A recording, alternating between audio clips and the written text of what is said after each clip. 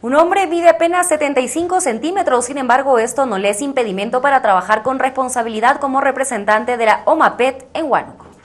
Pequeño, grande hombre, su estatura llama la atención de muchos. Sus apenas 70 centímetros hace de este varón la curiosidad que muchos que lo observan.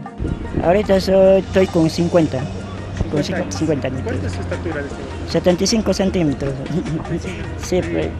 Víctor Castañeda Aguirre, con sus apenas 50 años, es representante del OMAPET de Huánuco y también profesor de primaria, siendo muy estimado por la perseverancia y lucha de su vida.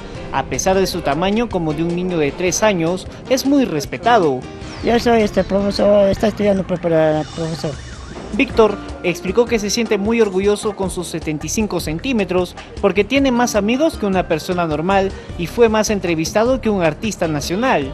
Para mí, no, mi, estatura y la manera como me, dirijo hacia las personas, me siento orgulloso de ser así, porque si yo volvería a, por decir no, a morir y quería volver a nacer de nuevo, sería con mi mismo tamaño, porque me siento orgulloso porque la gente me acepta, me quiere y eso es lo más que me, alegra a mí para todo. Si quieres saber un poquito más del querido Vitocho, como le dicen de cariño, presta atención, porque este varón nos comentó algunas anécdotas de su vida, como cuando era un bebé, cabía en una caja de zapatos, o tomarse fotos y caminar con el hombre más alto de Sudamérica, Margarito. Yo nací con un principio de polio, a los dos meses que nací mi mamá papá se dieron cuenta y cual quiero agradecer bastante porque ellos se han dedicado casi mucho hacia mi persona para poder salir adelante.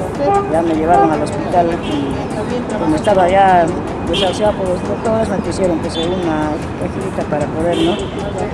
Pero gracias a Dios la voluntad de Dios es grande y ahora estoy acá. Una persona que merece arrodillarse y sacarse el sombrero. A pesar que tiene el síndrome del enanismo, sabe cómo seguir adelante. Además, don Vitocho dejó un consejo a todos aquellos jóvenes y niños. Si eres de buen corazón, el tamaño no importa.